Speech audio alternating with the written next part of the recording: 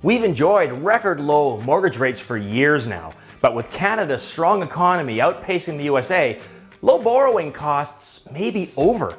In July, the Bank of Canada increased their lending rate for the first time in years. Then in September, we had another increase. Now we expect to see further rate hikes, maybe even as early as next week on October 25th. If you have a variable rate mortgage and want payment stability, now would be a very good time to give your lender a call. A fixed rate will protect you from future increases. And if you're currently shopping for a home, make sure that your lender locks in today's rate for you. We don't know for certain that there will be another increase as early as next week. But even if it doesn't happen right away, rates are going up again soon. Plan ahead and you'll save yourself a lot of money later. Thanks a lot for watching.